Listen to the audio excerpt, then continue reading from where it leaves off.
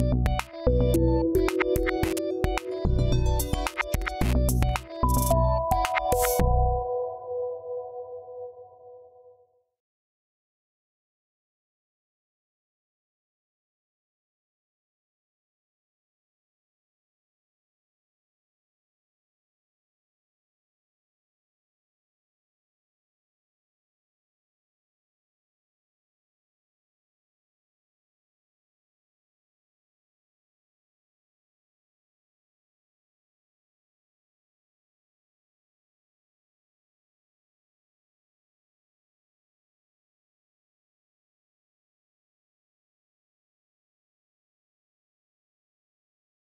Welcome to the beginning of this multi part series about spiral dynamics.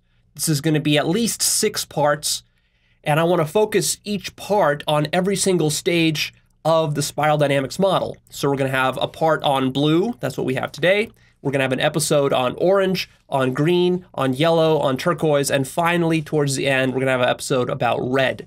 The reason I'm leaving red towards the end is because it's less relevant to you guys to most people because most people are evolved beyond red. Um, and if you're wondering why I'm not covering beige and purple, which come before red, the reason I'm not covering those stages is because those are very rudimentary and primitive, and I don't think it's going to be worth your time to to have entire episodes about those. But as far as blue, orange, green, yellow, and turquoise, it is worth your time to have episodes about these. Now, you might wonder, well, Leo, you talked about spiral dynamics in the past. In fact, I have a whole 90 minute episode called uh, The Ultimate Model of, of Human Development or Human Consciousness. I forget exactly how I titled it. You can search for that on YouTube or on my website. And that's a great episode. It covers the, the entire spiral, all these stages, and it tells you everything about them. But still, there's only so much we can cram into 90 minutes. And I went back and I started just to study spiral dynamics, this model, for my own benefit for myself, taking a lot of notes on it. And I saw just how much richness and depth and value there is here. By studying this model, my understanding of mankind, civilization, politics has has just become extraordinary. It's so easy to see all the problems that are happening all around the world and also within myself and where I fit within the spiral. So that's been very valuable. So I felt like it would be uh, a good idea to to help you to, to extract that kind of value out of this model because I think that most people still don't really see the power of spiral dynamics.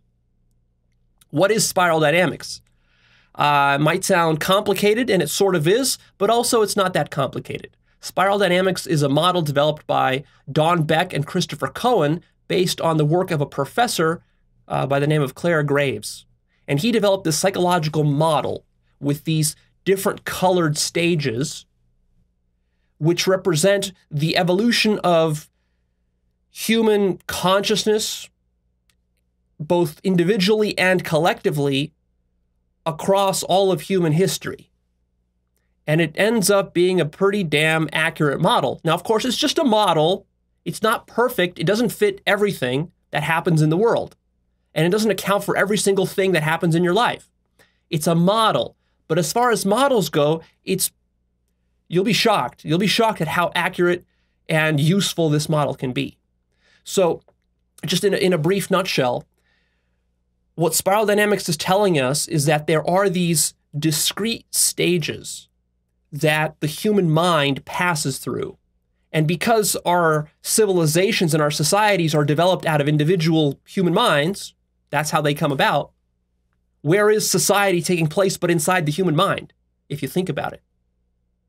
What structures society? What governs politics? What governs culture and religion and science and innovation? All this stuff. It's ultimately the values and the worldview that is inside of individual minds. And because humans are very hive like, bee like, ant like creatures, we develop these complicated societies, but really, they're not as complicated as we think. A society tends to be at a certain level of psychological and spiritual development. And so that's what this model tracks. That's extremely useful because guess what? You are part and parcel of your society and your culture and your religion and your science and whatever other stuff you buy into and believe in, uh, media, entertainment, education, all of this. What is all of this? This is part of society. You have been programmed with whatever is the predominant set of values and worldviews that your society in this day and age has. You see? So, wouldn't it be useful to understand how this develops and evolves over time, not just in your society, but all around the world across all sorts of societies going back thousands of years, so that you can see where you fit into the bigger picture. And also, you can see where you're stuck and where you need to go. And you can also see why other people are stuck at lower levels of development and you can see what their problems are. And if you want, you can help them to evolve as well. That might be very useful, you see. So this model is both useful individually for your own self-actualization and spiritual development, but it's it's also perhaps even more useful collectively to understand what the hell is going on in the world. We have a lot of crazy stuff happening in our politics these days, uh, crazy stuff happening with with uh, with religion and spirituality and economics and culture wars, all of this sort of stuff. How do you make sense of it? There's so much confusion these days, and people are just so unconscious about it, and they just uh, bicker back and forth and fight with each other, talk across each other, don't understand each other. And then what you have is you have this sort of polarization, and nothing really works, and everybody is sort of agitated and bitter at somebody, and they don't see the bigger picture with this bigger picture, you're going to understand everything. You're going to be shocked at how much you understand. So what spiral dynamics really is is it's it's these stages. The first stage is beige, then purple, then red, blue, orange, green, yellow, and turquoise. Each of these colors, these colors are just arbitrary. They don't really mean anything per se, other than just as a label for a set of values. So what spiral dynamics tells us is that you are at one of these stages and you must move to the next highest stage without really skipping over anything. And so you've got to move. So if you're at red, then you got to go to blue, then you're going to go to orange, then to green, then to yellow, then to turquoise. Now, most people usually, after they uh, become adults, they get stuck at one of these stages forever in their life because they don't understand that this model exists. They don't have enough perspective to see that there's something higher that they can evolve to. And there's also all sorts of traps that come with navigating this spiral, all sorts of obstacles to the ego from moving up to the next stage. And so we'll be talking, of course, about those to help you to uh, to get higher. So fundamentally, what spiral dynamics is is it's it's it's modeling sets of values and cultural memes which govern your life individually and collectively. Why is spiral dynamics important? Well, uh, I think I already answered that because it gives you a roadmap to see where you need to go, what's preventing you from getting there, and it helps you to understand and to tolerate the ignorance and lack of development of people below you on the spiral. And that becomes very important because otherwise you're going to get stuck criticizing those people who are less evolved than you, but you yourself are going to be wasting time because while you're criticizing others, you're not evolving yourself. What we're going to cover in these episodes, each episode is going to focus on a particular color or stage. So this one is going to be about stage blue. The next one's going to be about stage orange and so forth. In each episode, we're going to cover the same sorts of topics. We're going to talk about the set of values that define this stage. We're going to talk about a long list of characteristics that define this stage. So you get a real good sense of what the essence of this stage is. We're going to talk about when the stage emerges, why it emerges, what are the forces that cause it to emerge, and then what are the forces that cause it to um, to dissipate and ultimately die off and evolve into the next stage. So there's a set of circumstances that causes blue to come forward. It has utility. Then that utility is exhausted, it sort of peaks, and then it starts to die off, but then the next stage comes and evolves. We're going to also cover tons of examples, dozens, maybe even hundreds of examples that I've compiled. I spent a lot of time compiling examples of each stage, which are going to be very useful for you because it's through these examples that you really understand what these stages are. And it's also going to explain a lot of stuff in the world that you probably don't presently understand or that you misunderstand. We're going to talk about trigger points. What triggers each stage? And there's a specific set of lists of items that trigger each stage. I spent a lot of time thinking about what the trigger points are. And perhaps most importantly, we're going to talk about what it takes to transcend each particular stage. And I spent a lot of time compiling lists and brainstorming ways. What are the specific techniques and methods you could use to actually transcend stage blue into orange, and then orange into into green, and then green into yellow, and so forth. So that's going to be like the um, the application of spiral dynamics in your life.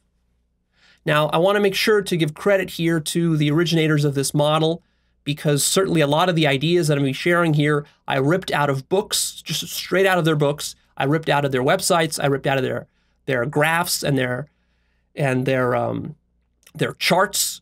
So uh, credit goes to Clare Graves, Don Beck, Christopher Cowan, and this website that I relied heavily on called Spiral Dynamics Integral.nl for Netherlands. Now, let's move into talking about stage blue. What is the essence of stage blue? If we want to give it a title, we could call it absolutist, conformist rule, and the rise of civilization.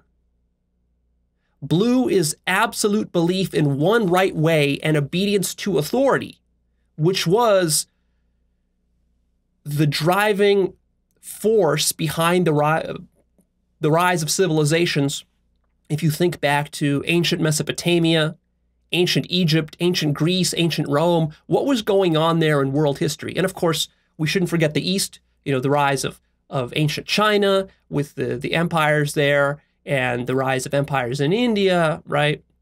Um, and then even in the Middle East, a little bit later, you had the rise of, of empires. So, what was going on there? Before, mankind was living, well, very long before, in small tribes but then these tribes started to accumulate and they started to become bigger. And that was the development of stage red. Stage red is a very sort of totalitarian, high, um, um, sort of like tribal, like alpha male uh, leader of, of the wolf pack sort of um, style of government and social organization. So uh, that, of course, has its limitations and problems, which lead to the rise of blue, because you can't really build a large, well functioning civilization like the Roman Empire just purely based upon uh, one tribal leader dominating everybody. See, to have the rise of civilizations, you need to develop um, a set of organizing principles for that society people have to be under the same sort of programming, mental programming, so that they're all on board with the same sort of purpose and they all have to conform to a certain set of rules and laws. So, really, civilization is all about taking a tribe of barbarians and then giving them a bunch of laws and codes which are enforced by police and a legal system, court system, all this sorts of stuff. So, now you're developing a well functioning bureaucratic civilization. So it's highly bureaucratic. And of course, to do this, what you need is you need the development of writing, which is what led to the to the rise of these giant civilizations. You couldn't do that before you had writing because you need to keep accounts. You need to take taxes. You need to keep ledgers and and you need to you need to be able to write down names of all your bureaucrats, and you need to have a postal system. You need to have roads interconnecting. So you're you're basically creating a rudimentary network. It was sort of the rise of the internet, the early internet that allowed these civilizations to develop. And now that wasn't that wasn't our internet. That was the internet of 2,000 years ago through writing and through these networks of of roads and trade routes and um, and laws and all the institutions that enforce those. Stage Blue relies very heavily on belief in some sort of higher authority, a god. And this god is usually a father figure, a stern father figure who lays down the rule of law. And if you cross him, he will punish you. He's not a forgiving, lenient God. He is like that hard ass dad stepdad who will beat you if you do uh, something even a little bit wrong. It's like that. That's the essence of blue.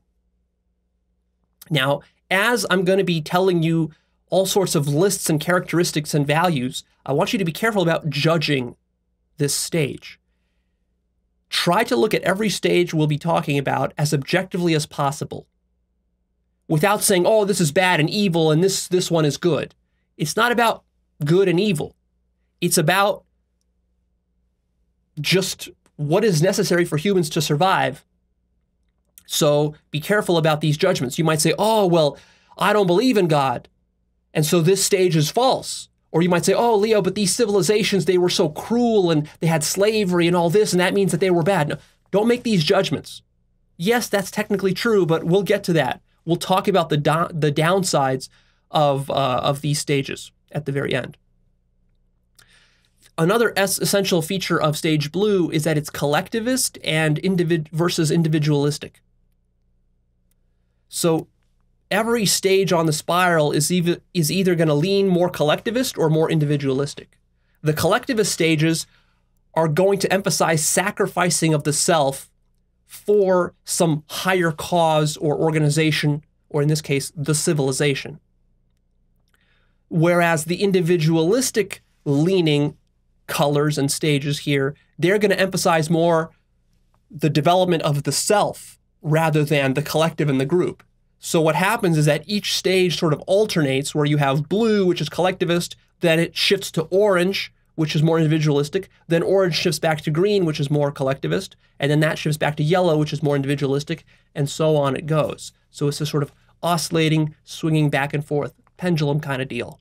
But the essence of blue is that you're sacrificing yourself for your particular civilization in the hopes of getting a deferred reward, oftentimes in the afterlife. So there's a strong emphasis on religion and the afterlife.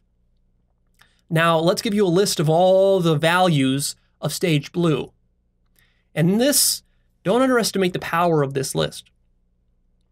These keywords that I'm about to give you if you if you take a stage blue person and you talk at him with these keywords, you are going to become his best friend. You are going to resonate with all the deepest stuff that he believes believes in. That's what values are all about. That's why values are so important. And each stage has its own unique set of values. So if you have a, a sneaky manipulative politician, he could literally take all the keywords in this list and go with a bullhorn to a, a rally, a political rally, and say these keywords. And if the keywords are properly aligned with the the members of his audience, let's say the members of his audience are stage blue, then he will win their undying support because he will tell them precisely what they believe in and what they want to hear. And of course, this can be a very dangerous thing because it creates a sort of echo chamber. Because people aren't looking for a new set of values. Most people are just blindly looking to reinforce their existing set of values without thinking in an objective manner about the limitations of their existing set of values. So here we go. And uh, before I even tell you that, one more one more uh, comment. I don't know what stage you're at. Most of you who are watching videos from me, just to even watch my videos, you already have to be probably at stage at least a high orange, green, maybe yellow. Uh, a stage blue person probably isn't watching one of my videos.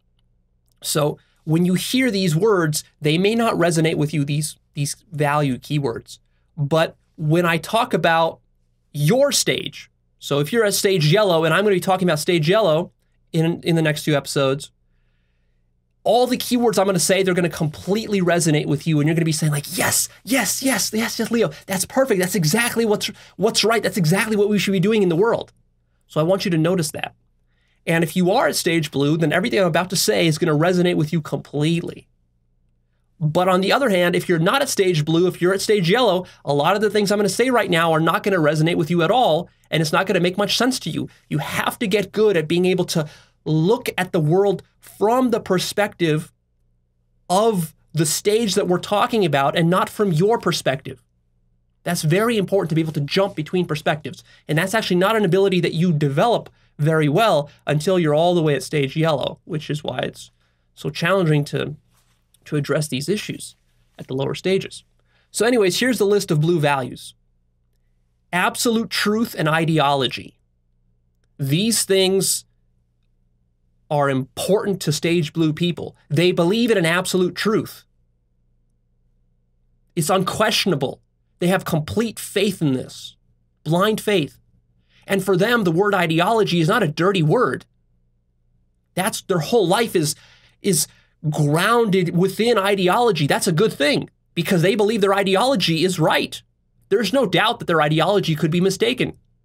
There's no room for other ideologies. There is only one ideology, my ideology, and it's the correct ideology. How else could it be? Belief, faith, and certainty are another set of values.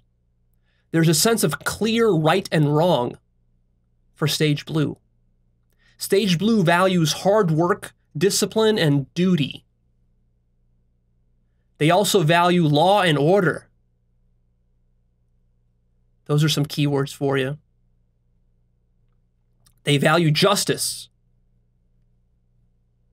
because justice goes hand in hand with the enforcement of the rules of, of my civilization. And see, Stage Blue is not about civilization in the abstract. They don't just want to civilize the whole world. They want their civilization, my civilization, is the only right civilization. And if you disobey my civilization, you deserve punishment. You're a sinner. They value hierarchy, social order, and the status quo. There's no need to innovate or to be progressive. This is a dirty word for someone who's at stage blue the status quo, our traditions, the way it's been for, for hundreds of years, the way our ancestors did it, that's the way we got to do it, and that's the way our children got to do it. Why reinvent the wheel when it already works so well? That's how they think. Stage Blue values patriarchy. Women are there to serve men.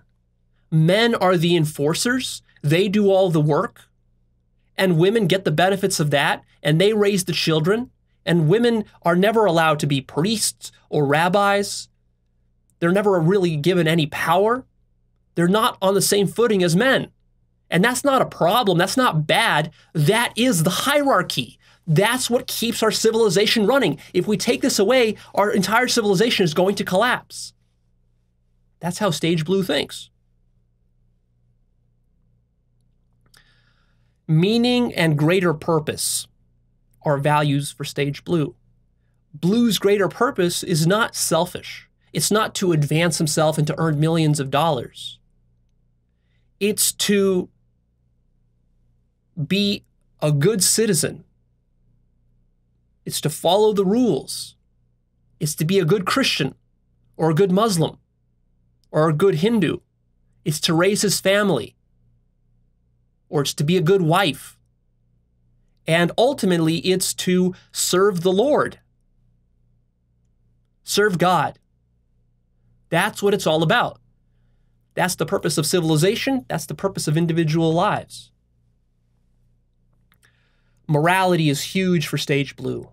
These are the moralists. They have a strong sense of morality, a strong sense of right and wrong, and if anyone breaks this morality, they deserve justice because they're a sinner.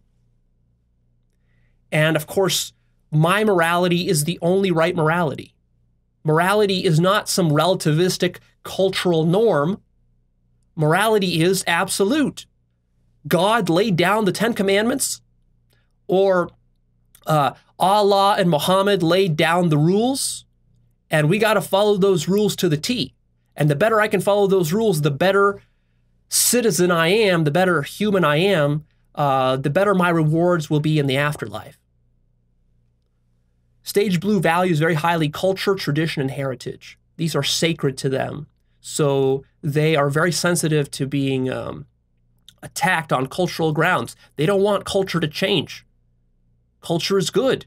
In fact, we need to defend our culture, preserve our heritage against the heretics. Stage Blue values crusading for a righteous cause. Stage Blue values serving God. Stage Blue values theology and doctrine, orthodoxy, dogma and conformity. These are not bad words, these are all good. Because when you believe in, in, in absolute truth and you think you have the absolute truth and that the absolute truth has been written down in a book, because that's what Stage Blue believes, it's been written down in a book, then uh, conforming to the absolute truth is, is the best way to live your life. Why would you deviate? Any deviations from the absolute truth as written down in scriptures is, uh, is corruption and uh, failure. Stage Blue values family very highly. These are the people on TV you see who talk about family values. They also value obedience and reverence, respect for your elders, they value God and country, patriotism. These are the red blooded patriots. Our country is the best country. And there's no question about that. It's always been the best, it will always be the best, and that's why we got to defend it, because it's the best. They value also righteous living. You live your life according to principles, you have a strong moral code of conduct. You have a sense of honor. And you don't want your honor besmirched. Your reputation is important to you, your reputation within your community. Such people value good manners, decency, and etiquette, proper dress, maybe uniforms, or maybe certain hairstyles, hair regulations. They find profanity offensive and uh, they're sensitive to blasphemy. Don't speak down to authority. Don't speak down to God. He is your authority. You need to submit to Him.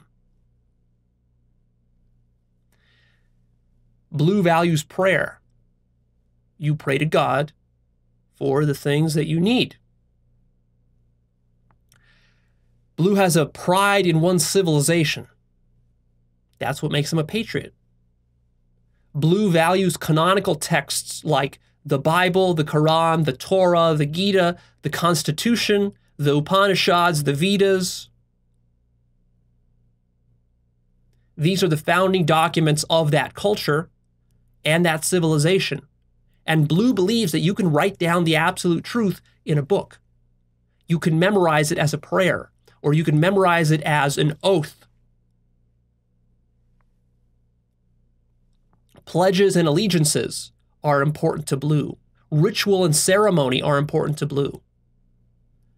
Blue is very eager to obey authority. So, whether it's the Pope or Muhammad or Allah or the Christian God or Christ or the Buddha or Confucius or the Emperor, there is some authority figure who has divine rule, or like the pharaohs, for example, would be uh, would be perfect examples. The authority oftentimes isn't merely just an authority. He has divine status. He's a divine monarch. And he's treated like God because God bestowed him with powers to run this civilization. Blue values the afterlife heaven, hell, and salvation. These things are very real to Blue. These aren't just ideas, these aren't just myths. This is their reality.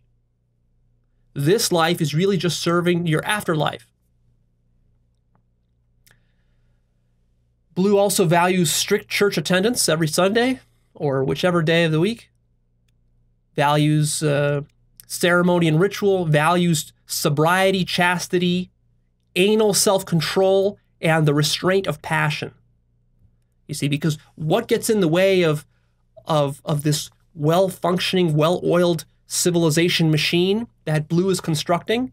It's the passions and the emotions. It's letting your ego become wild.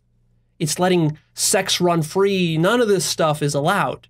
So we have to practice uh, very stern self control. Even though we have these, these emotions and passions within us, we have to suppress them. We have to suppress our sexual urges.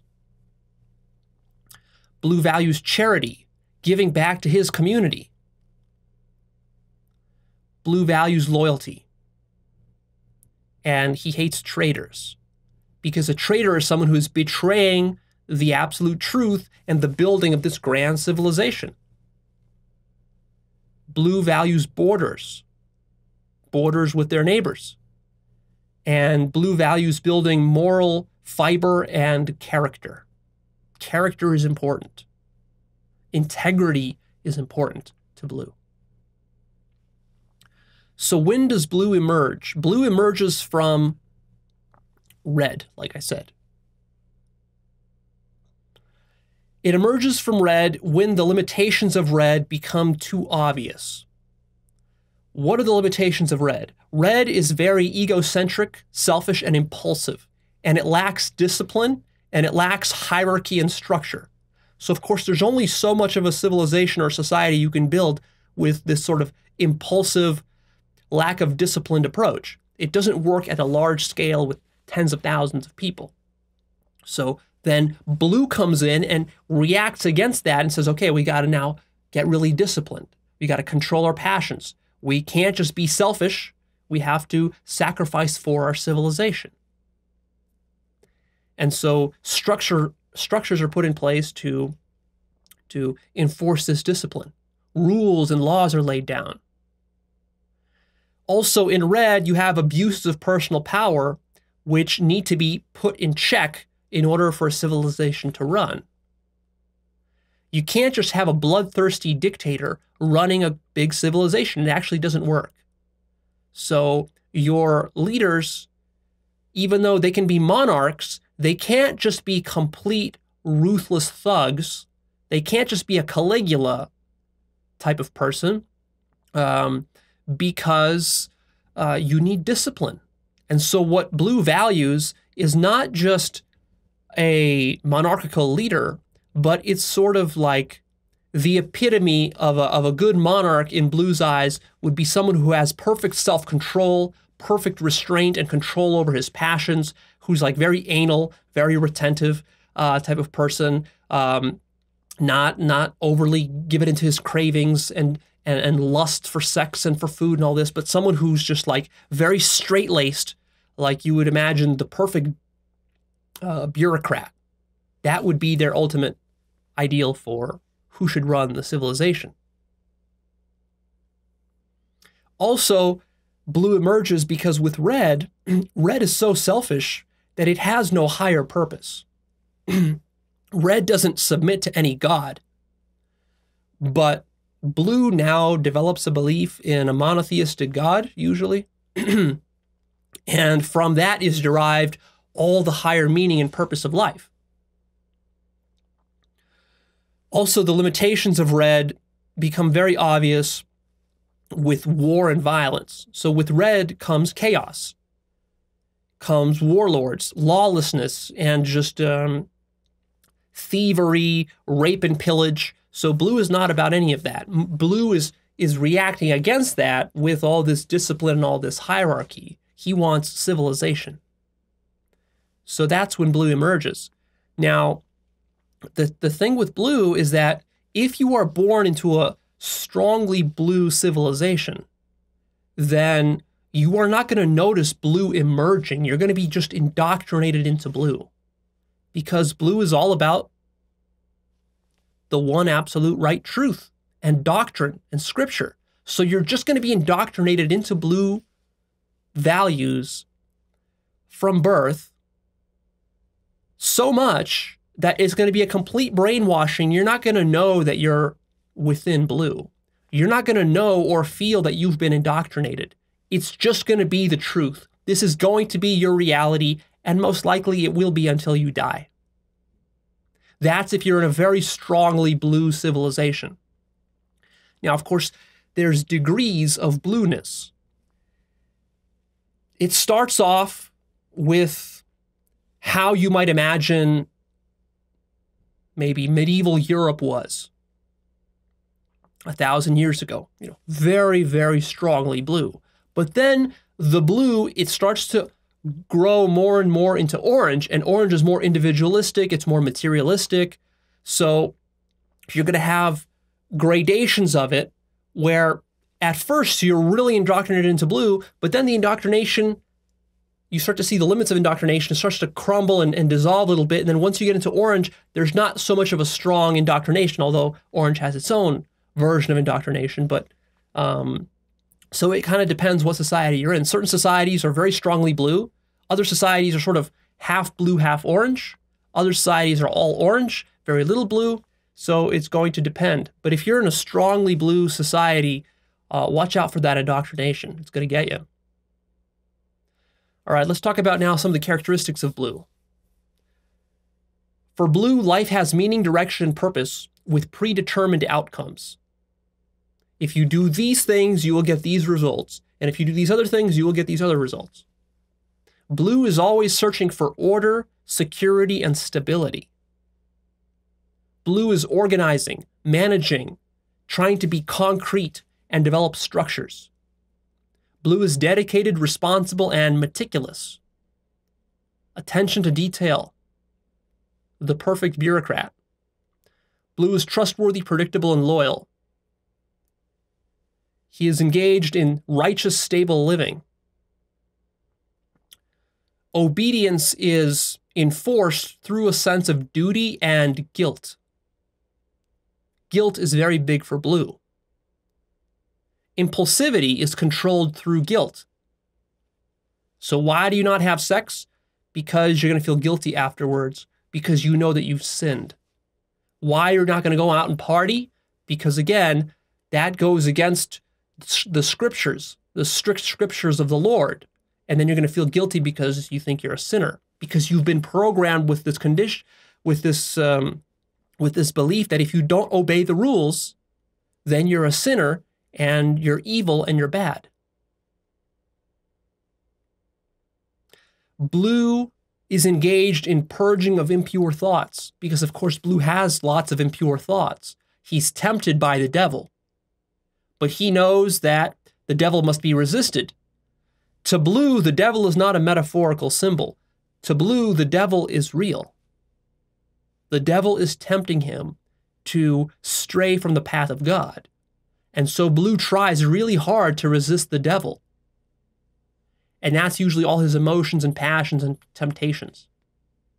That's why he's so anal and uh, strict and disciplinarian. The blue is all about surrendering worldly pleasures for a higher calling, for the afterlife. To blue, everybody has their proper place in civilization. There's often caste systems within blue societies, and you do not question the caste system. The caste system is not a problem. The caste system is good. That is the hierarchy, and we are here to defend the hierarchy. We're not here to reinvent the hierarchy and make life better for other people. That's not what blue cares about. To blue, the hierarchy has been handed down by God. It's our traditions and our heritage. So we don't question any of that. To blue, the existing order is good, so it must be reinforced. To blue, uh, codes of conduct are based on an eternal order within the cosmos the entire cosmos revolves around man. And not just man, but my race and my civilization.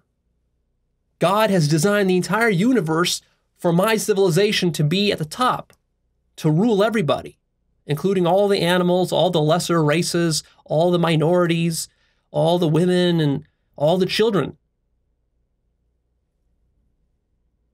This is patriarchy, patriarchal rule. Blue never questions authority, elders, or teachers because they are carriers of the truth. Blue loves laws, regulations, and discipline building character.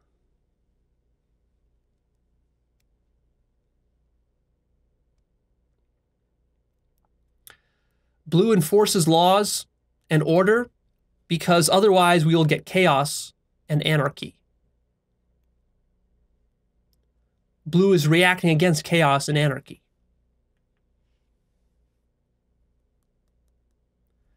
Blue sees himself as bringing order to the chaos. So Blue sees himself as civilizing the heathens, the pagans, the barbarians, and the savages. Those are not at the same level as he is, they're all below him. Blue is the rise of civilization, the rise of cities, the rise of empires, the rise of laws of uh, codes of law, and of monotheism. For blue, reality is strictly objective. Blue has high rigidity, low open mindedness, and high dogma. Right and wrong are absolute, they are not social constructs. Cultural traditions and values are also absolutes. They are not social constructs. They are not arbitrary for blue. Blue sees the world very much in black and white. It's clear what's right, it's clear what's wrong, it's clear what's good, it's clear what's evil. And blue has a very strong sense of objective good and evil.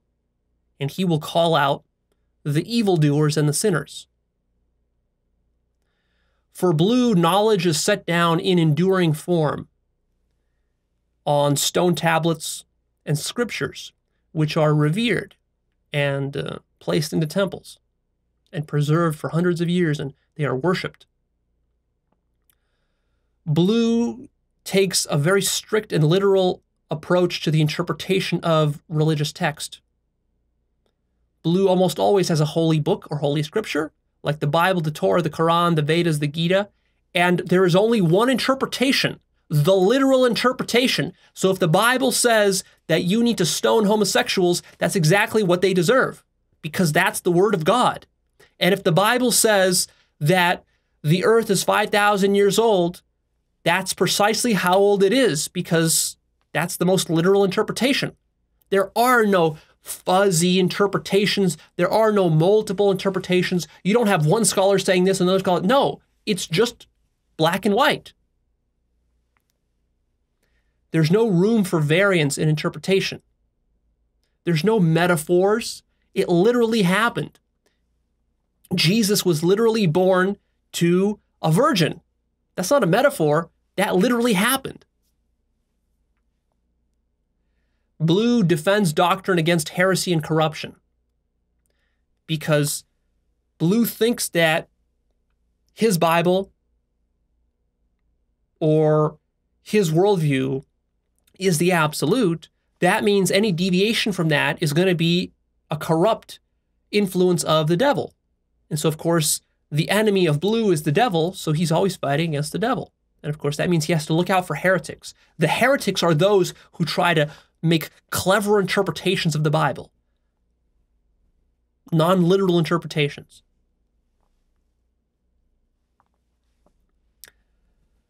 Blue is really just a congregation of believers. That's what the civilization or society is about. Blue invokes almost always an anthropomorphic father figure God. God is not pantheistic. God is not disembodied. God is a bearded man in the clouds, just like it's depicted in our books, just like it's depicted in the Sistine Chapel, in our temples. God is a human. Because I'm human. So, of course, I am made in the image of God.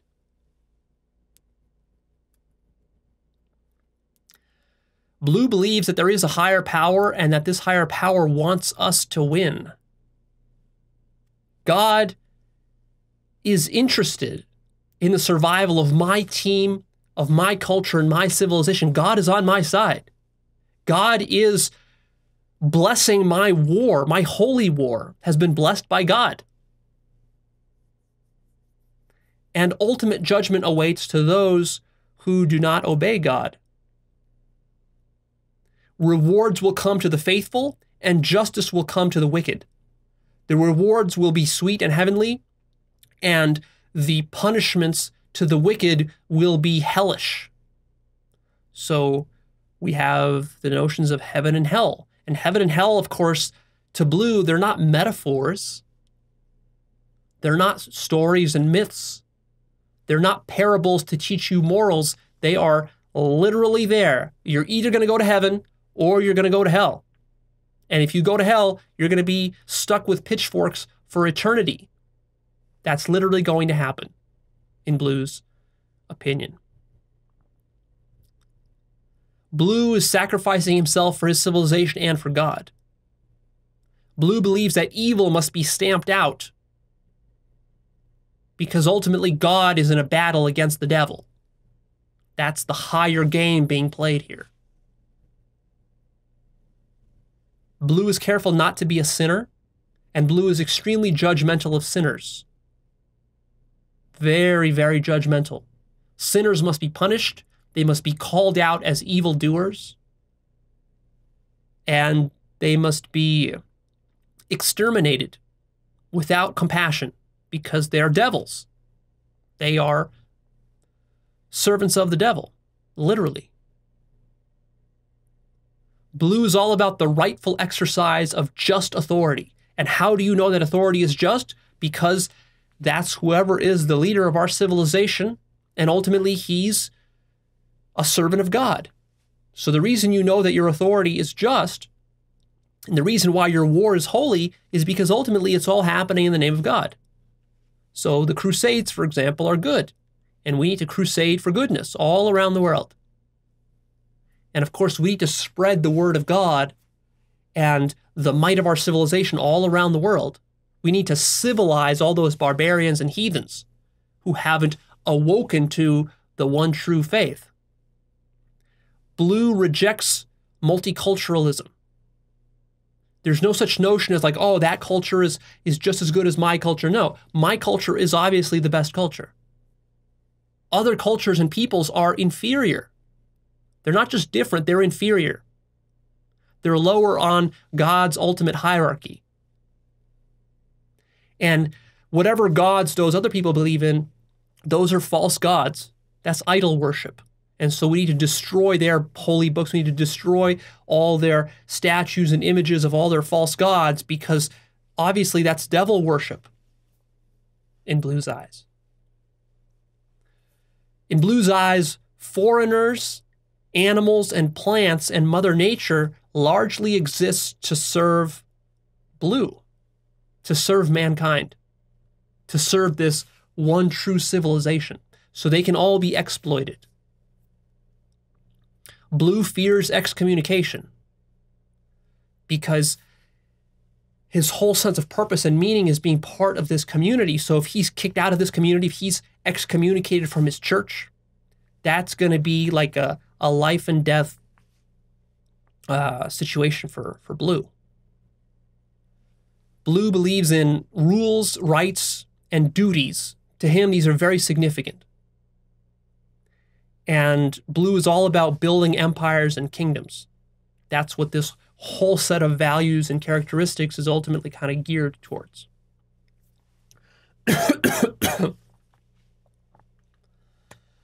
All right, so let's get to some examples of blue. I got a lot of examples. I'm going to run through them really quickly here. And of course, with some of these examples, I'm overgeneralizing. You have to understand that I'm sort of taking blue and I'm distilling it down to its essence. So not always will blue be 100% blue cranked up, you know, to the maximum. It could be 50% blue, 75% blue. You know, blue can have different intensities. You can have a very deep, dark color blue, or you can have a kind of a light pale blue. And that, of course, depends kind of where where you and your civilization, your culture are in their evolutionary arc. So here's some examples of blue. The Middle East today.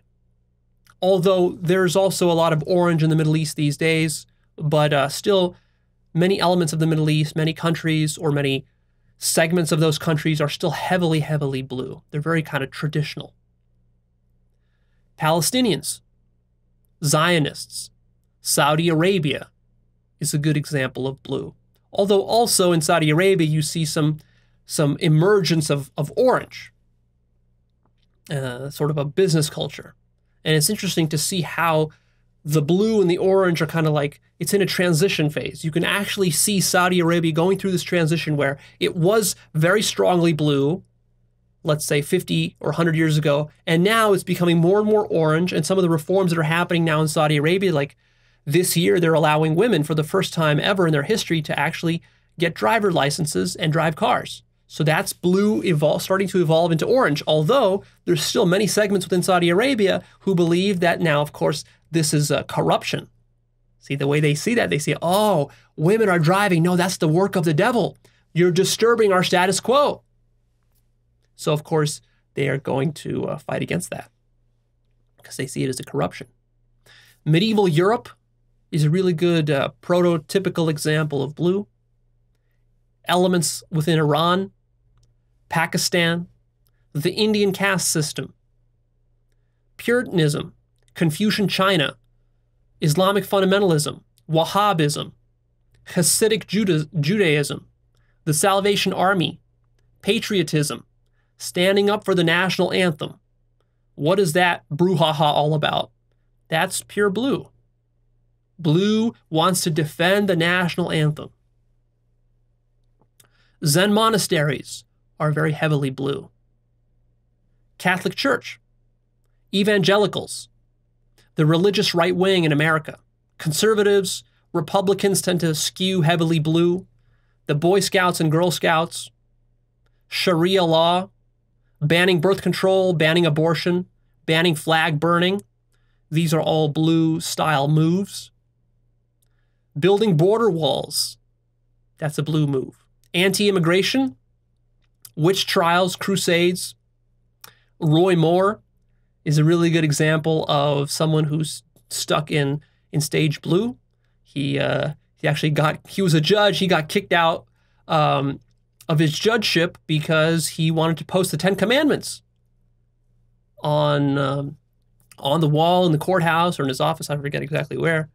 So uh, if you notice what was happening with the uh, Roy Moore brouhaha um, earlier this year or last year, it was um, you see that, that that's a battle with stage stage blue right there.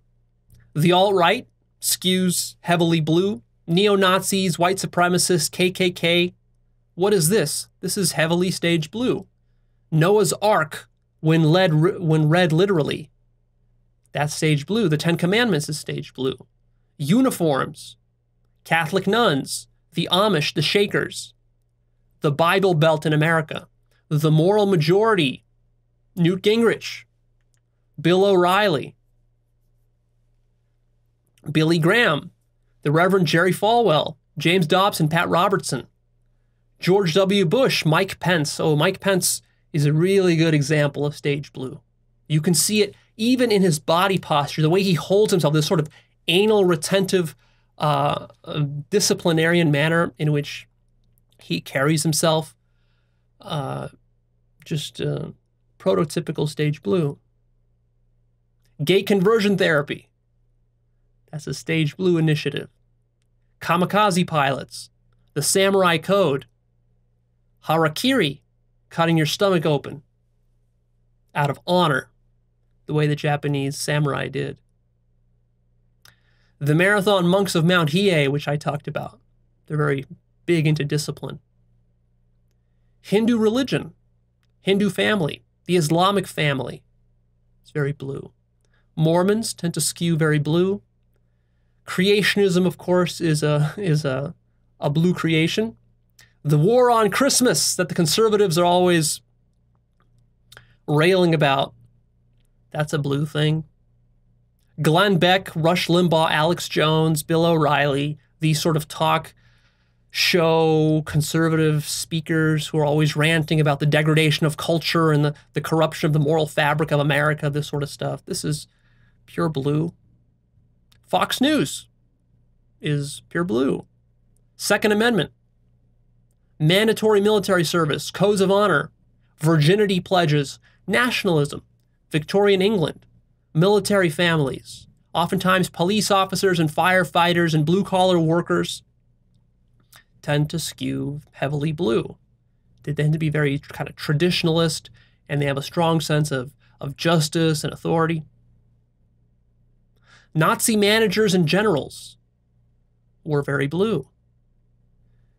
Have you watched the movie Starship Troopers? The ethos behind Starship Troopers is very blue.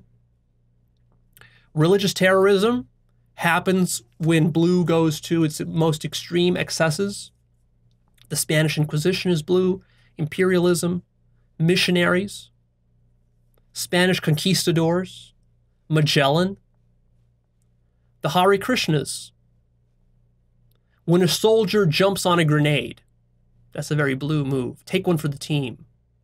Theocracy is blue. Prayer in school, communist China, the colonial South, imperial Japan. Patriarchy, culture warriors.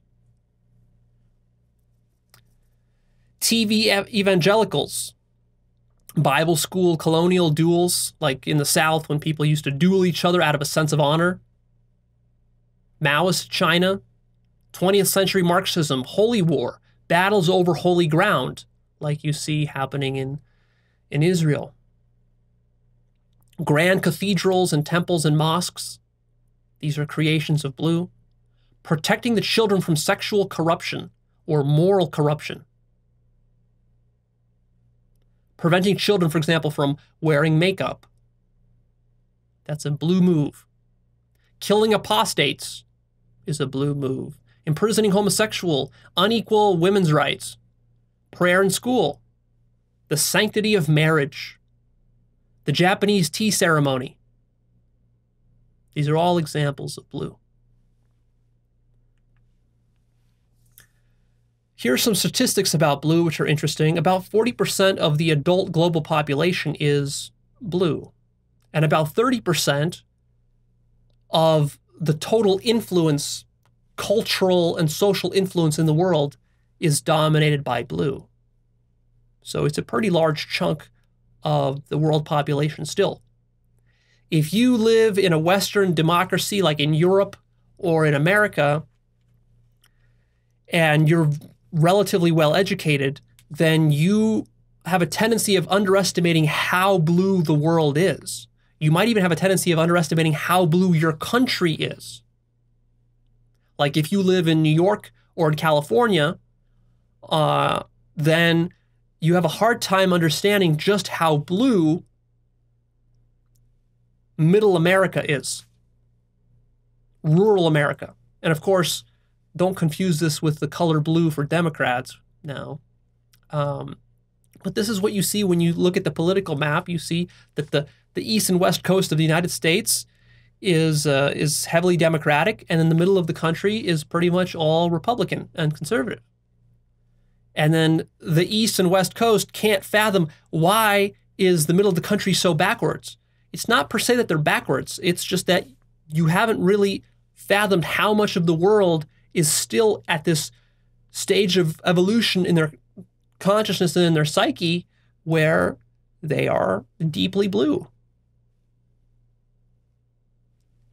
The style of government that comes with blue thinking is authority structures, order driven, mm, hierarchies, theocracies, and empires.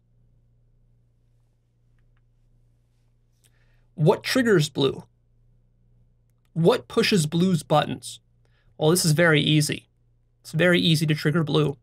In fact, it's pretty much easy to trigger almost every single stage if you know what their trigger points are, which I will tell you right now. We have to be careful, promise not to abuse this. These trigger points I'm telling you so that you can become conscious of how you yourself become triggered, not so that you can weaponize these and go attack blue people, attacking their weaknesses. All right, so watch out for that. In a, in a nutshell, what triggers blue is stage red, stage orange, stage green, and stage yellow. It's basically all the surrounding stages that are not blue, which are triggering blue. And you'll have a better sense of that once you watch my future episodes about the other stages. Relativism and not knowing, uncertainty, really triggers blue atheism, secularism, and skepticism. really triggers blue because it goes against the heart, the heart of their whole philosophy, which is uh, absolute truth. Calls that into question, calls all their ideologies into question. For blue, this is deeply disturbing and unsettling. It's threatening to them, it's an existential threat to them. You're not just playing with ideas, you're playing with their whole sense of reality, which is why they will resist you oftentimes to the death. Also, they are triggered by intellectuals, academic elites, and postmodernism. You want to really trigger Blue? Start talking to him about Jacques Derrida. You're going to drive him up the fucking wall. Uh, uh, Blue is triggered by Obama. Barack Obama. Why did the Republicans and conservatives so dislike Obama? Why did the Christian evangelicals so dislike Obama? Because Obama, in their mind, represents this sort of intellectual, overly academic, overly strategic, sort of uh, philosophical, relativistic, complex thinking, kind of like worldly individual who actually is multicultural, cares about different cultures, cares about considering values of, of different societies. Like, no, for Blue, this is this is treason. Obama is a traitor to them. That's why they don't like him fundamentally. It doesn't matter what Obama does, it's the fact that what he represents is he represents this sort of grayscale, complex thinking and diplomacy around the world, which is anathema to blue. Blue's thinking is black and white thinking. It's patriotism. And Obama wasn't a blind patriot. Obama was deferential to different cultures and different needs of different nations. And so he's a he's sort of a complex strategic negotiator. This does not fly in blue. That makes him seem soft. It makes him seem like a socialist. It makes him seem like a like a European. Because really, Obama was sort of in the green stage, and so blue is reacting really heavily against green. And that's generally what's happening within American culture and politics right now is you see a clash between blue and green and between orange and green. And people are really resisting green. And of course, they're going to resist the idea that they're resisting green because what I'm saying here makes it sound as though Obama is above. Green is above blue. And it's true, it is above. But you have to be careful not to think of it as like better than it's not better than, it's just evolution. You know, it's not like um, the dinosaurs were worse than today's birds. Evolution is not about being better or worse than previous species. It's about how well do you fit into your environment, and your environment's always changing. And also, it's um, you can't judge it too much because the way evolution works is that you have to go through the intermediary steps to get to the next level steps. You can't just skip around. So you can't really blame blue for being blue, and you can't blame green for being green because they have to be that way because that's how life unfolds. What else triggers blue? Space cadets, philosophers, and free thinkers hippies, free sex, drugs, rock and roll, rap music, materialism, hedonism, and unabashed sinning. So those people who just kind of go around and, you know, they they're gluttons, they just indulge themselves with sex and food and, and money and wealth. This this is going to trigger blue because blue wants to sacrifice that for the greater civilization. That's blue reacting against orange.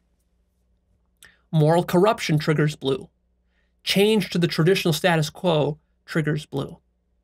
Changing things just for the sake of changing things. Progressivism. This triggers blue. Lawlessness, chaos, disorder, and anarchy triggers blue. When people are breaking the rules, that triggers blue. When justice is not served, to the sinners. When sinners get away with their sins, that really triggers blue. Lack of hierarchy triggers blue. Terrorism triggers blue because terrorism represents sort of the pinnacle of chaos and disorder and anarchy. And um, the devil, because terrorism really stems kind of from from uh, from either very low blue or kind of a high orange, but not not high orange, but a high red, high red stage. Multiculturalism and globalism trigger blue. Excessive selfishness and egotism. People who are not willing to sacrifice for the team or for one civilization. That triggers blue. Disrespect for the status quo, like disrespecting the flag. Breaking agreements and disloyalty to their civilization. That's huge. Blue is very sensitive to traitors. And a traitor is basically anyone who betrays the culture that blue was indoctrinated into. Blue is triggered by questioning of existing orthodoxy. So when someone opens a Bible and starts to say, "Oh, let, let's let's think about how we could reinterpret the, the Bible in different ways for modern times," that totally triggers blue because to blue, there's no such thing as reinterpreting the Bible for modern times. Blue doesn't really believe in evolution.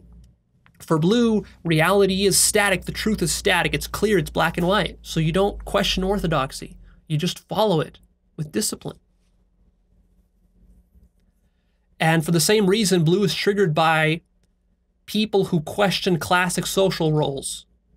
So when stage green starts to question gender roles, racial roles, uh, the roles of females in the household, this sorts of stuff, women in the workplace, this is all disturbing the apple cart, changing the status quo, trying to change the culture. And Blue perceived this as an existential threat. He sees this as corruption of the culture, not a progress, not evolution, but corruption. Blue is triggered by heresy, sacrilege, and blasphemy. So sometimes you will see people under my videos saying, Leo, I, I love your videos. I love the stuff you talk about, but uh, I wish you wouldn't say fuck so much. And they get sort of offended by that. So that's sort of a blue, a blue sensitivity. Uh, because blue wants to keep this sort of appearance of, of order and propriety and kind of like honor and decency.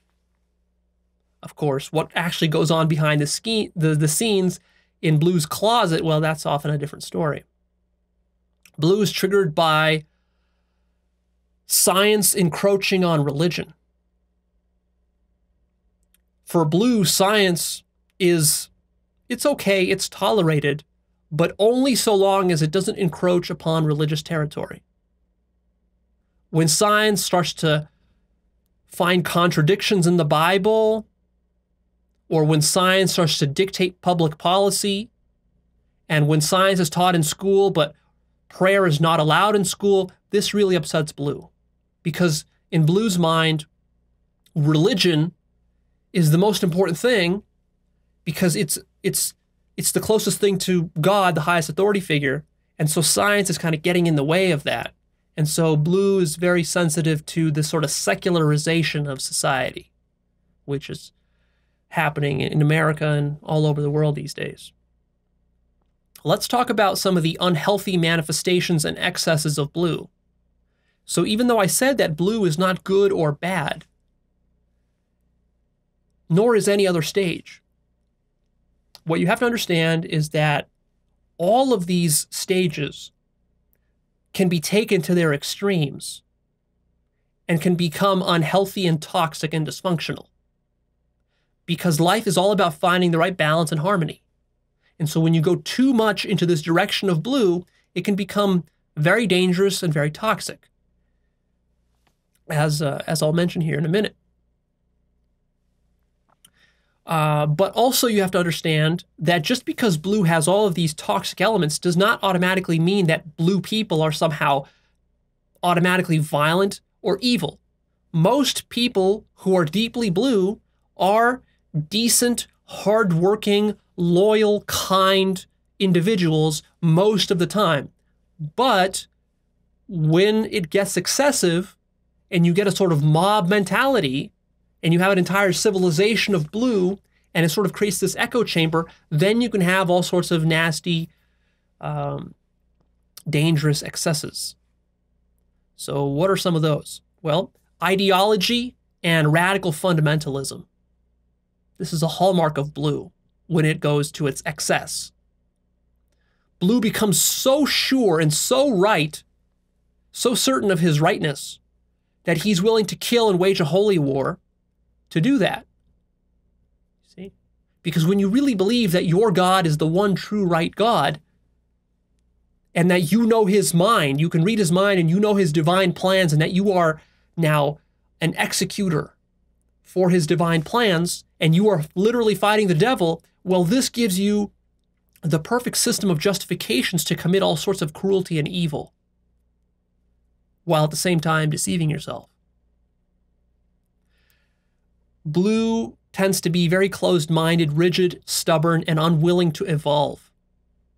Even when that evolution is necessary for blue to survive, blue will often resist evolving. He will be hard and strict and inflexible.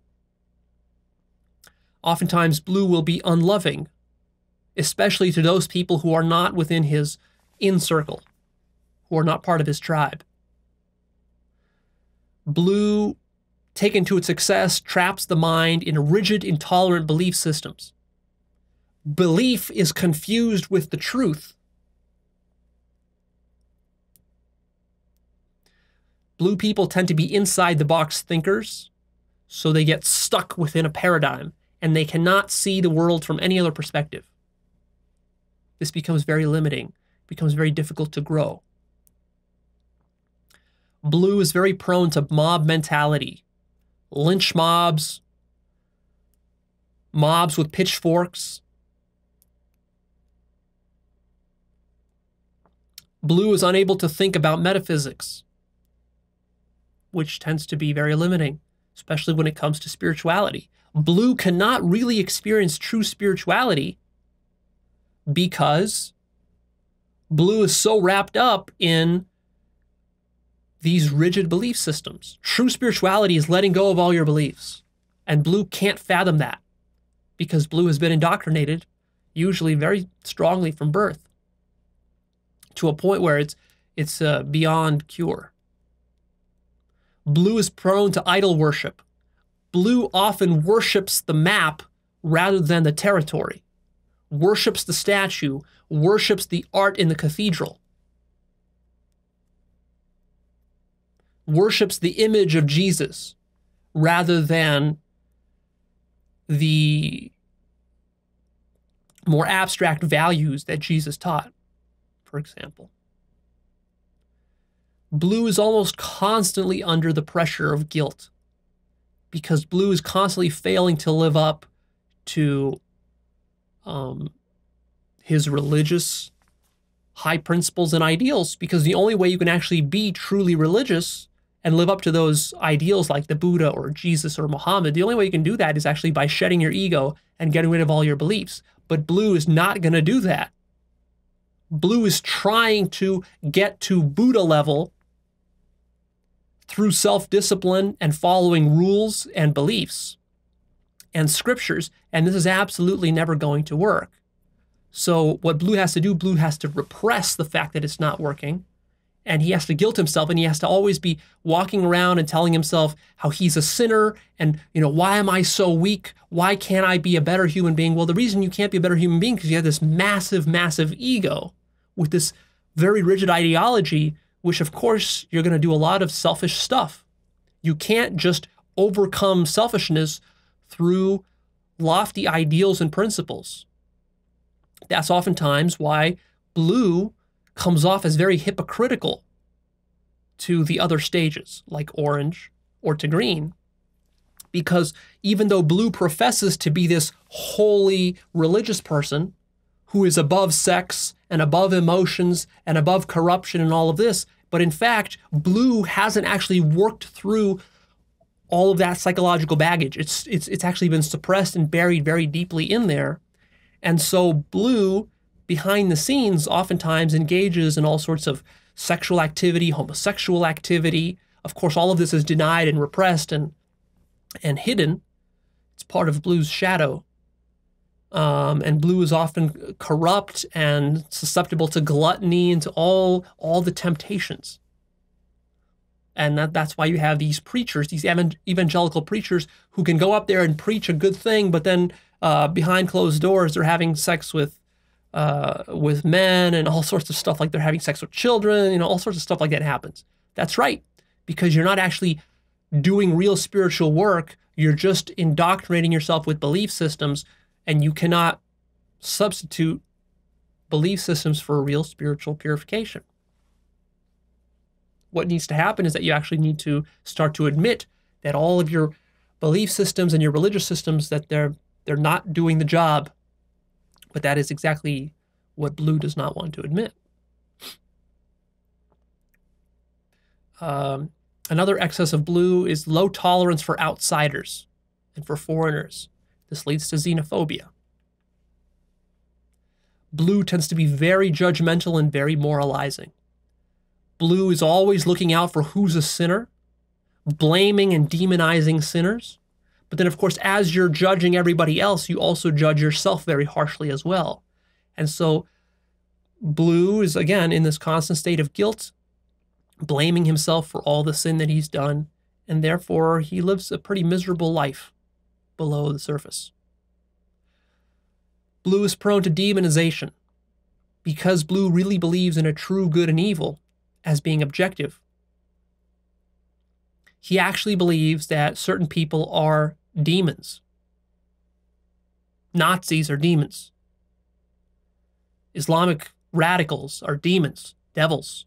Certain countries, like the axis of evil of George W. Bush, North Korea, Iran, Iraq, these are the evildoers. This, they serve Satan. That's what they actually believe. So there's there's this tendency to demonize other people and to not be open to seeing the world from their perspective. Because that would open the floodgates for relativism. And as soon as you open the floodgates for relativism, that's like opening Pandora's box. And now all of a sudden, all of Blue's beliefs, they all are threatened. And that becomes very scary for Blue. Blue loves to assign blame. Blue loves crusading holy wars, and these holy wars can become very violent and dangerous. Blue becomes easily self righteous. Uh, blue can become a martyr, and other people can rally around these martyrs. That starts a whole movement, starts a new holy war, lots of violence, all in the name of the martyr. Classic stage blue type of behavior. Blue can easily justify cruelty with scripture. Blue will use the scriptures unwittingly, unconsciously, to actually justify his egoic fears and insecurities. And just basically he turns the scriptures into a system of justifications for his ego which can become very dangerous. Battles of the civilizations like east versus the middle east or i mean west versus the middle east or west versus east these sorts of conflicts these civilization-wide conflicts or white Europeans versus the Native American savages. These sorts of conflicts uh, often come from stage blue. You have a clash of civilizations. When blue becomes very excessive, it becomes closed to progress and to new technology. All throughout human history, you see how blue civilization has resisted certain technological developments, whether it was the printing press, or whether it was um, mm, innovations within science, new scientific theories, or invention of birth control, condoms, cloning, genetic modifications. So there's all, all sorts of stuff. Um, media, technology is, is like uh, radio, television. This stuff was all resisted before Blue finally came to accept it. In its excess, Blue denies science and blue denies reason. In its excess, blue can do a lot of puritanical censorship, like censoring television, radio against bad words, against nudity, this sorts of stuff, because blue's not comfortable with that. That's seen as a corrupting influence. Blue can be unable to let loose and have fun because blue is so anal. Blue is often sexually repressed.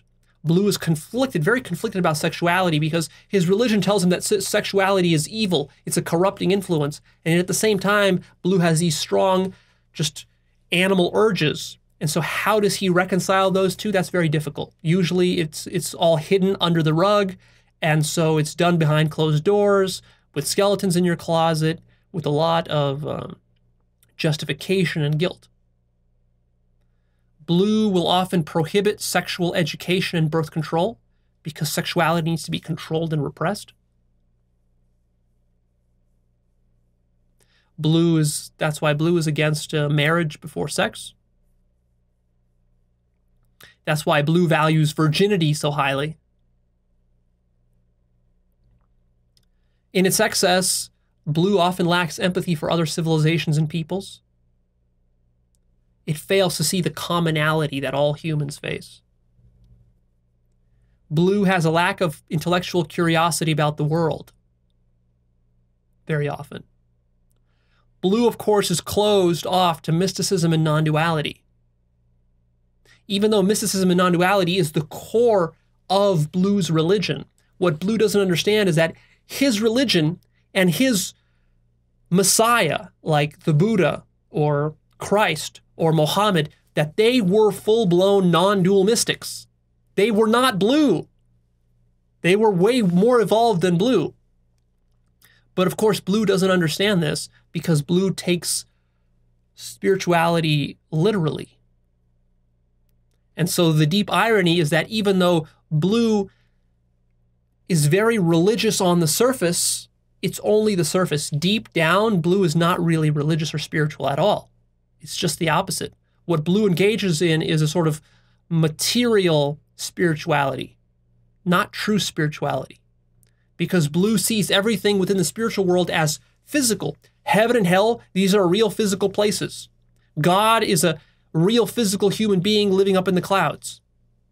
The devil is a, is a real creature with, with horns and a, and a pointy tail and a pitchfork, literally.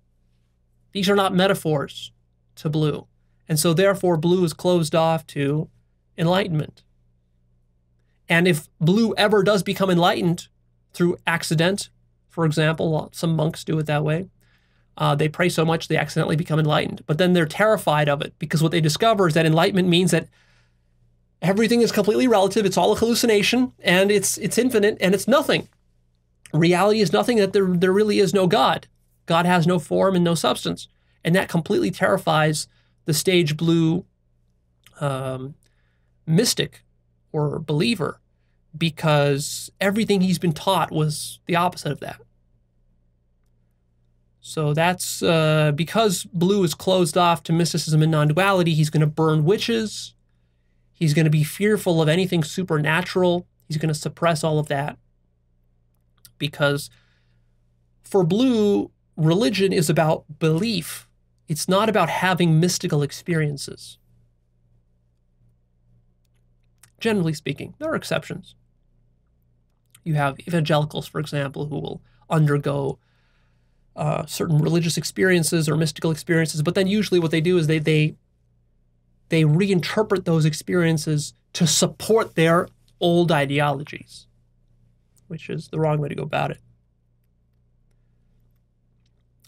Uh, Blue, taken to its excess, is anti multicultural, which tends to be a problem, anti globalist, which tends to be a problem because our world is becoming more multicultural. It's becoming more of a mixing pot, more interconnected with the internet and with airplane travel and all of this.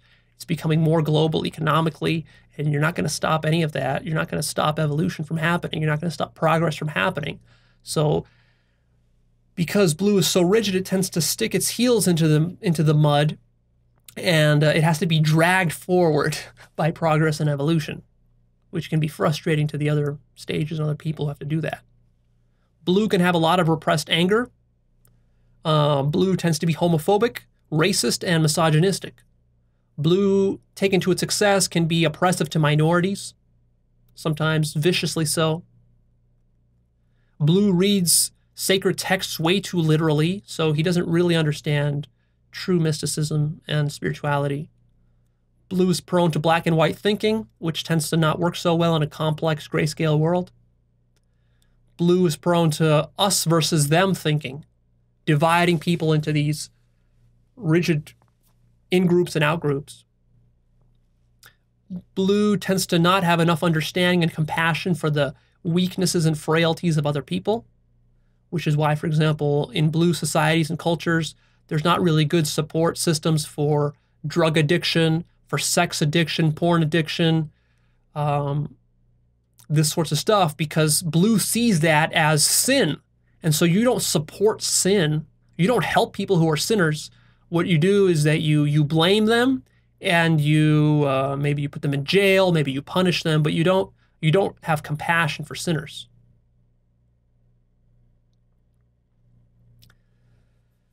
Uh, in excess, blue often is very strict with children, the way children are raised, and children are never really allowed to be children because all these perfectionistic standards are placed upon children to be good and not to be sinful. And then the children grow up also uh, becoming anal retentive, just like their parents were, and they never feel like they're good enough. And so they're constantly living with guilt and with shame for disappointing their parents. And then, of course, they teach that to their own children. Blue, in its excess, is unable to see the commonality between all cultures and between all religions. Blue thinks that each religion is really different, when in fact they're all basically talking about exactly the same thing, just with different window dressing. Blue can be excessively bureaucratic. Blue can be excessively theocratic, where the government starts to dictate what you should believe. Blue does not believe in separation of church and state because that's a betrayal of the absolute truth, a betrayal of God. God the state is supposed to be serving God. See, that leads to theocracy. Blue is prone to authoritarianism in its excesses, nationalism, and communism. And this is something that a lot of people misunderstand, and this is why this model can be so helpful, spiral dynamics, is because people think that oh, but nationalism and patriotism is the opposite of communism. No, it's not. It's the same exact mentality, just different content. The structure is the same. Communism, as it was practiced in the Soviet Union and in China, not today's China, but China uh, maybe 50 or 100 years ago, uh, the like the old school original communism, that was not stage green. These were not hippies. These were not progressives. The original communists and Marxists were not progressive at all. They were deeply blue. So the difference between ideological capitalists and communists and nationalists is much less than most people think. Keep that in mind. It's very useful to know. Um, because actually, those people, for example, a lot of conservatives in America, a lot of the conservative religious right in America, and the alt right, their their more our, their their arch enemy is communism, right? Progressivism, liberalism, and communism, as they see it, socialism. But that's really a mistake, because what they're not noticing is they're not noticing that it's their their blue style of thinking which actually leads to the kind of communism and socialism which they cite as being the greatest evil. Because what do they do? They look back 100 years into Soviet Russia and this sort of stuff and say, oh, look, that's, that's what's really bad. We don't want America to turn like that. Right. But America is never going to turn like that because America is already evolving into orange and green. It's already way beyond that. Actually, the closest thing in America to the old, old school style communism and Marxism that these blue thinkers are afraid of is themselves, which of course is why they are, are so triggered by this stuff.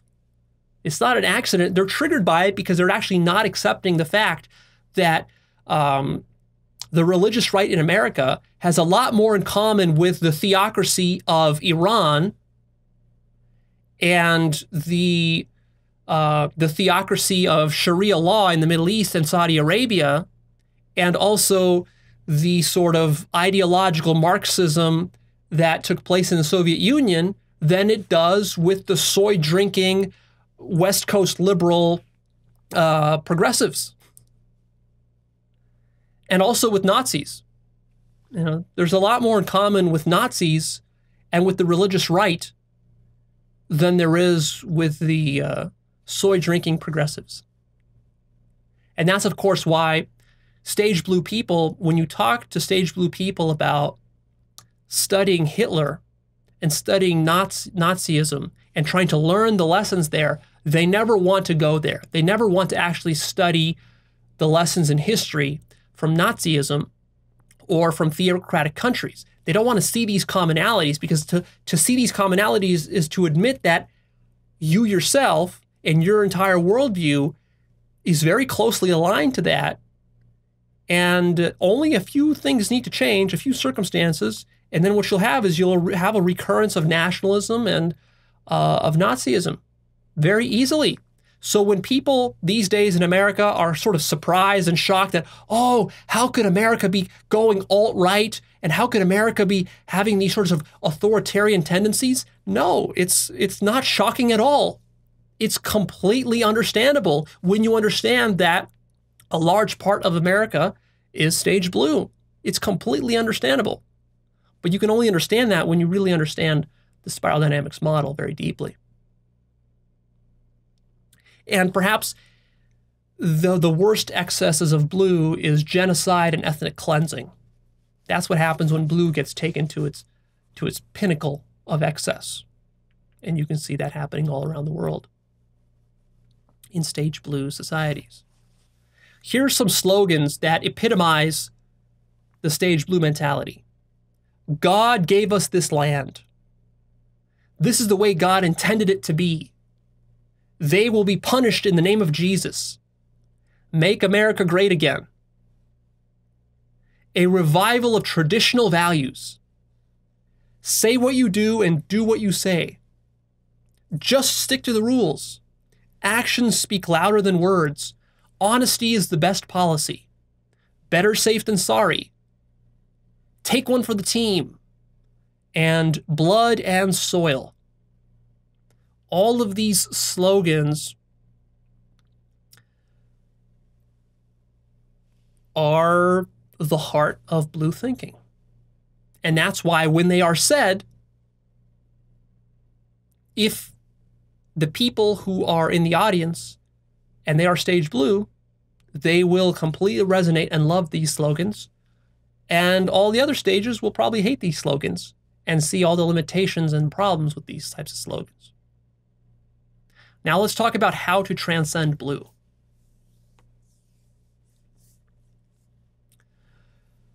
Perhaps most importantly is to read very deeply about stage blue. Not just what I said here, this is a beginning point, but you need to actually read about it. Familiarize yourself with the stage you are at.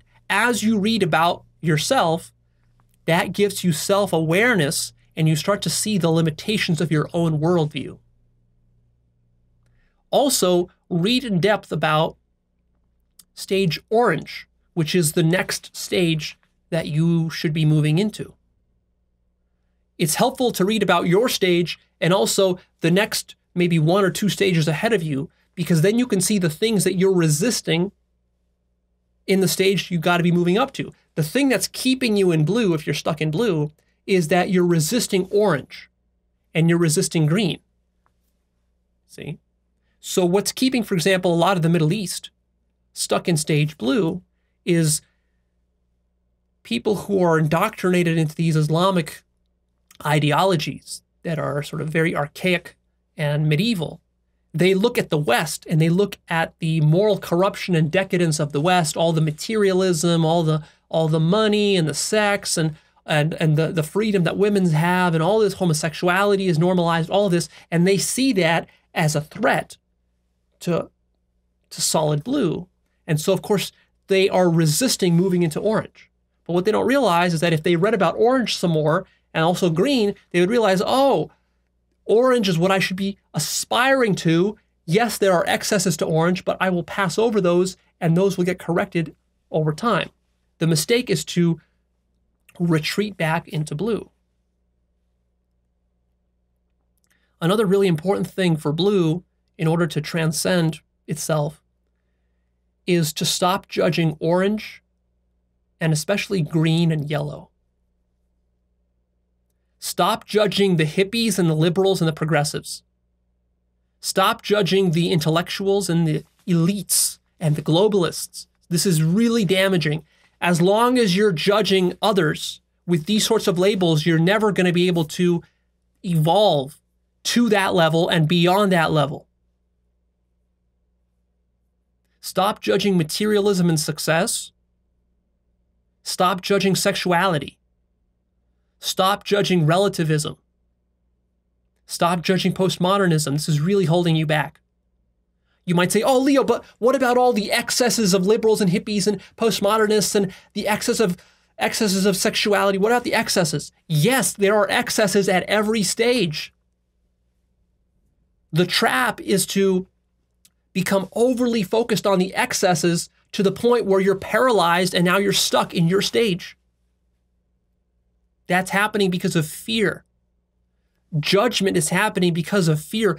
You're refusing to accept reality. You're refusing to accept how human consciousness and the human psyche evolves because you want to cling to your comfort zone. And I understand that, and every stage basically does that to a certain degree. I'm just pointing out how to transcend. If you really want to grow, if you really want to self actualize, Follow what I'm saying here. Stop judging all this stuff. Stop judging mysticism. Stop judging New Age spirituality. Stop judging moral depravity. Stop judging evil, sinful people. In fact, eliminate the notion of evil altogether. Eliminate the notion of the devil. That's very important for blue because blue is so stuck with moralizing. Your moralizing is killing you Every time you moralize to somebody else, you're also moralizing to yourself. And it's slowly drowning you in guilt. And it's preventing you from being able to overcome your own inner weaknesses and demons limitations. So long as you judge the inner demons of others, you will also be judging and being stuck with your own inner demons. Also, to transcend blue, stop clinging to tradition. Let it go. Notice that everything evolves. Notice that all traditions die. There has not been a single tradition which has survived unevolved and unchanged for the last 2,000 years. Everything has evolved. The Bible has evolved, language has evolved, countries have evolved, religions have evolved, everything has evolved. Christianity today is nothing like Christianity of 2,000 years ago. Islam of today is nothing like Islam of 1,000 years ago etc., etc., etc. You cannot cling to anything. There's really no security in materiality, which is something that blue doesn't want to accept. Also, to help you transcend, become more skeptical and start thinking independently for yourself. This is very important for blue because blue is so stuck thinking along the uh, the programmed lines that he's been indoctrinated with. Start to question all authority. Start to notice that authority is often wrong. Start to notice that authority is often abused. Therefore, you need to become your own authority. Start to notice the limitations of religion. Start to notice that the things that religion preaches, it itself often cannot actually embody and actualize. That should be a, a, a clue or a hint to you that the way religion is trying to do it is not going to work. There are much more effective ways at practicing spirituality than religion. Start to notice abuses of the church, like the uh, all the sexual scandals and all the hypocrisy that that exists within the church. All the corruption that's there. Notice that actually the devil has infiltrated the church and your holy book and your religion and your culture long, long, long, long ago, such that he has perverted it and turned it inside out, such that now when you're following the religious teachings of your of your culture, actually most often you're just being a servant of the devil. Start to notice that. Notice that beliefs can be extremely self-deceptive and that belief is not equivalent to truth and to reality. Reality is much larger than belief itself. You can never capture reality within a system of beliefs. Notice that all beliefs are ultimately false creations of the human mind, and they are relative, and that beliefs basically just serve the ego, they serve the devil.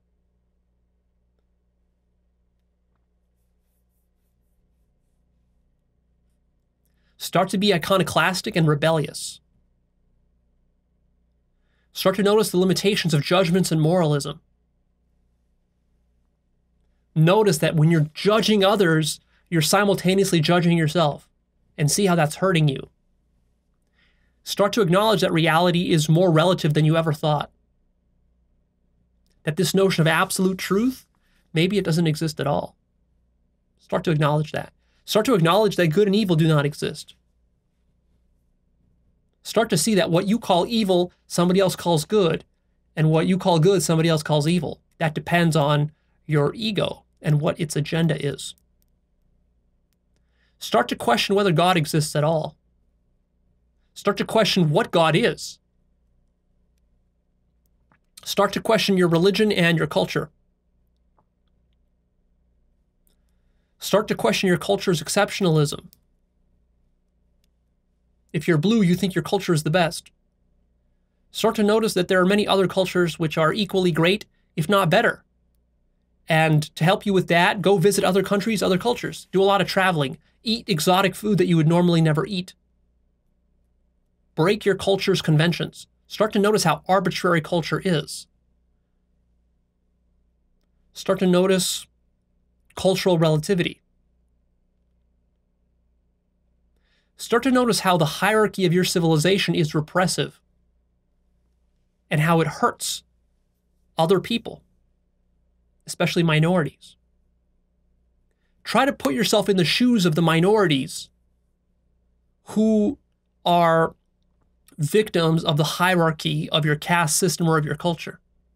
Put yourself, if you're a man, like if you're a white Christian male, put yourself into the shoes of a black woman, or uh, put yourself into the shoes of a, of a gay um, transgender person and try to think of what would my life be like if I was like that rather than a white Christian guy?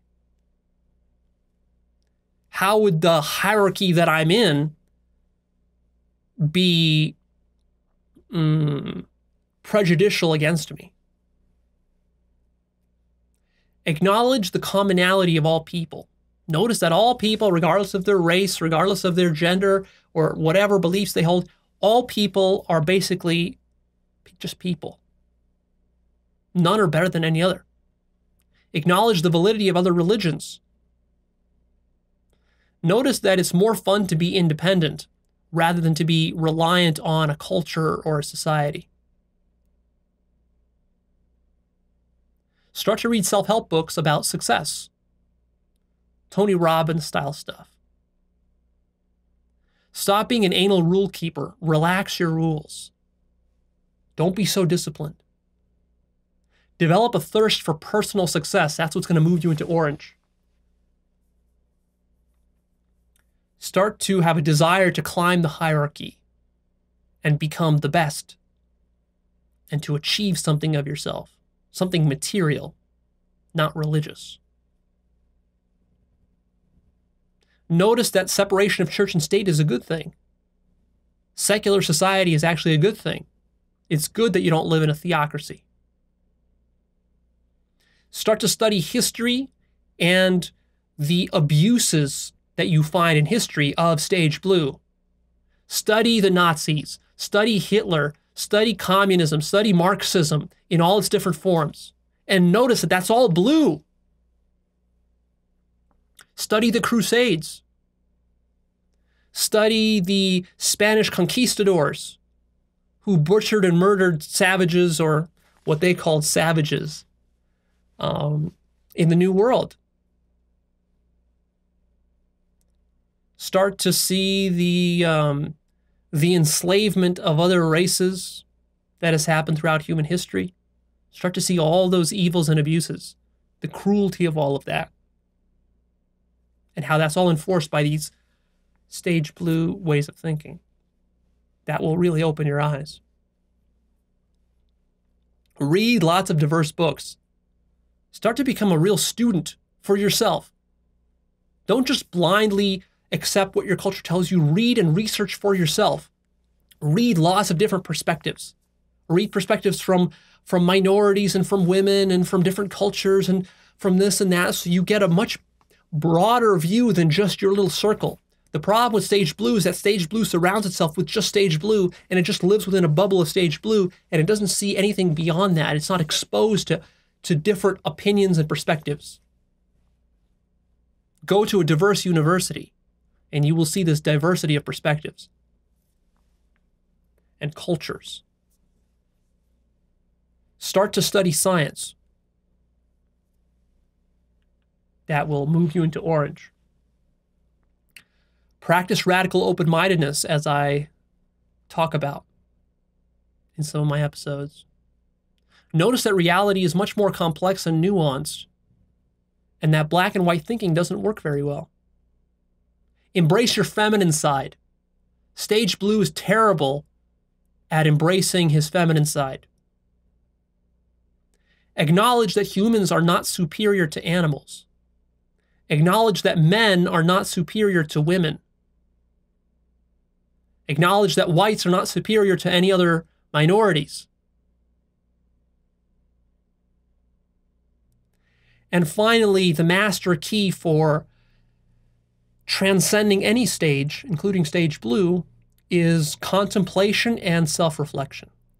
Sit down, think all of this through, study it, take notes, ruminate upon it, reflect on your own behaviors, connect it with human history that you learned through all your reading. And that should shift you into the next stage, which for you will be orange. So that's blue, basically, in a lot of detail. In conclusion, I want to stress that you be very careful about abusing the information that I'm teaching to you here. It's very easy. It's very easy to start to stereotype people and to demonize people. You can look around and say, oh, look at that blue person and that blue country and that blue business and that blue uh, church and that blue organization. Look at how bad they are and how evil they are. Look, they're going to become communists and Nazis and this and that. Be very careful about that. I've talked about the excesses of blue but you have to remember that most blue, blue people are not fanatics. And these excesses come out sometimes, but oftentimes not. The majority of the time, they don't show up.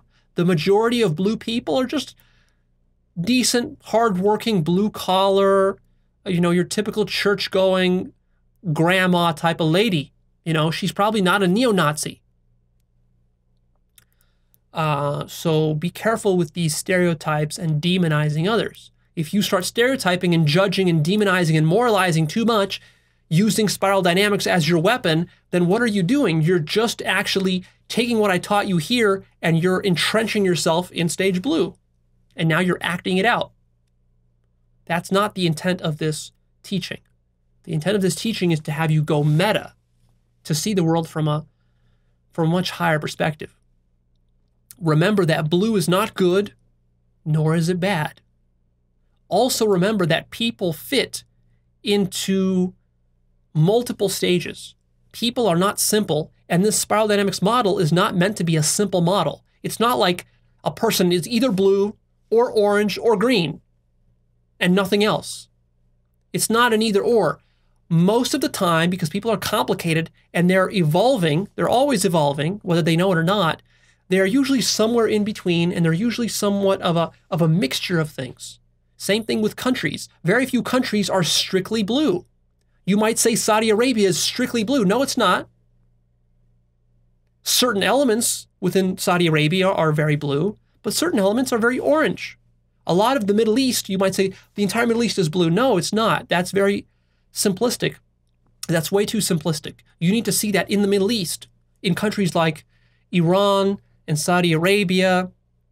Um, and then you have countries like Dubai, which is very orange, right? You have you have uh, you have various mixes. So these countries can be like 50% blue, 50% orange, or 75% blue, 25% orange, or vice versa, 20, 75% orange, uh, 25% blue, right? You have different mixes, and human beings individually can also be like that. And it doesn't just have to be blue and orange, it can also have a little mixture of green in there, and even maybe a little mixture of red in there. So it's complicated. It's like a painting, right? Uh, different colors. But you can still look at a painting and just kind of eyeball and say, well, this painting, yes, it's got a bunch of colors in it, but basically it's an orange painting, or it's basically a blue painting, or it's it's 50% blue, 50% orange. You can kind of eyeball it, right? It's a model. We're oversimplifying reality here. That's the point of models, is to oversimplify. It's to generalize. And uh, be careful not to confuse the model for the territory. Models are limited. Spiral dynamics should not be your only tool for understanding politics and societies and governments and individuals. It's just one tool in your tool belt. Recognize it has its limits, and you will notice them as you start to apply this model. You'll start to notice these limits. So acknowledge that. If anything here that I said kind of triggers you and you disagree with it, remember, uh, I might have said something here that offends you because you are in stage blue, and maybe you feel like I've mischaracterized stage blue. Uh, no, I didn't. I tried to be very fair and objective here. Just notice that the biggest impediment to growing to new stages is resistance, denial, and ego. The ego is trying to maintain homeostasis. The ego is trying to keep itself at blue if you are in blue.